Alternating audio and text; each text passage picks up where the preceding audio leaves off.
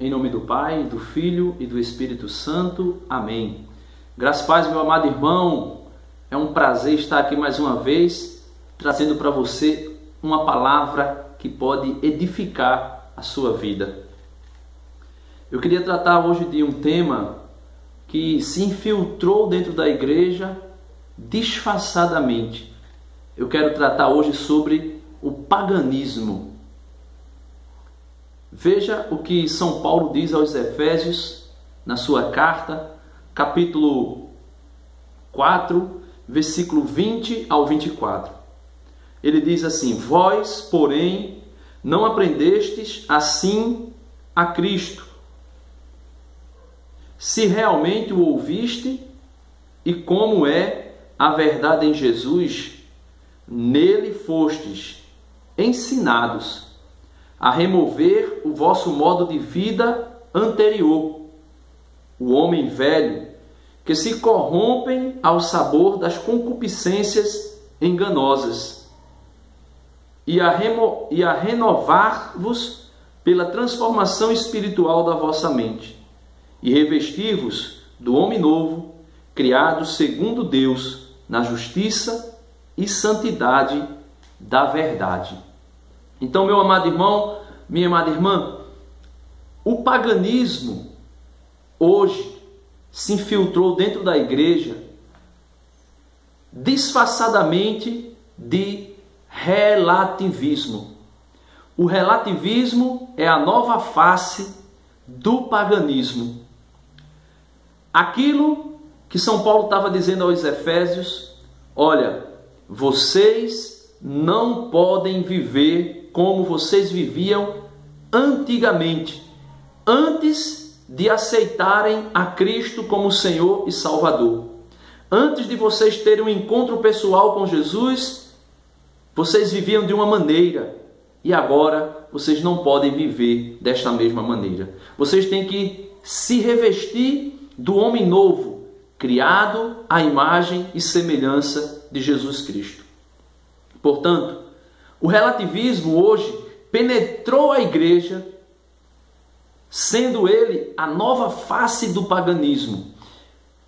Os pagãos é quem vive de maneira como quem não conheceu a Cristo.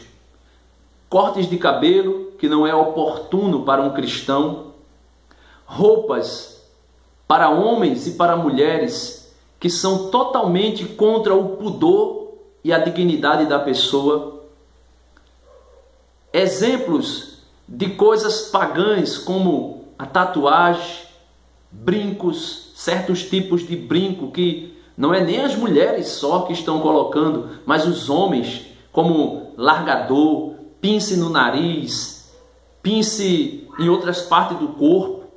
Isso tudo é coisas que os pagões, os pagãos faziam e viviam assim. O apóstolo Paulo está dizendo para os Efésios, e Jesus está dizendo para nós hoje: nós não podemos viver como vivem os gentios. Então, meus amados irmãos, o relativismo entrou na igreja e hoje, dentro da igreja, estão querendo viver como se estivéssemos fora dela, vivendo os costumes pagãos, bebedeiras, orgias, mentiras, corrupção, vestes indecentes, roupas indecentes, comportamentos indecentes, conversas indecentes. Tudo isso tem entrado dentro da igreja e muita gente tem querido viver com isso como se fosse algo que o cristão pudesse viver. Jesus está dizendo para nós: necessário é mudar a mentalidade. Aquele que se encontrou com Cristo tem que mudar a mentalidade tem que viver como um homem novo, criado segundo Deus, na justiça, na verdade e na santidade. Coisas que são próprias do paganismo têm se infiltrado dentro da igreja e as pessoas estão vivendo isso como se fosse a coisa mais normal do mundo. Então, o paganismo, disfarçado de relativismo, tem levado cristãos pelos quais Cristo morreu a viver uma vida indigna daquela que nós fomos chamados. Eu e você precisamos mudar de vida, se é que ouvimos de Cristo e dele aprendemos. Louvado seja nosso Senhor Jesus Cristo, para sempre seja louvado. Curte aí o vídeo se você gostou, compartilha e vamos evangelizar, porque nós precisamos gritar para o mundo ouvir a boa notícia.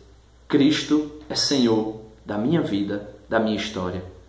E isso nós fazemos não somente com palavras, mas com as nossas ações, nossas atitudes, nossos comportamentos comportamentos de pessoas que foram lavados e redimidos pelo sangue do Cordeiro.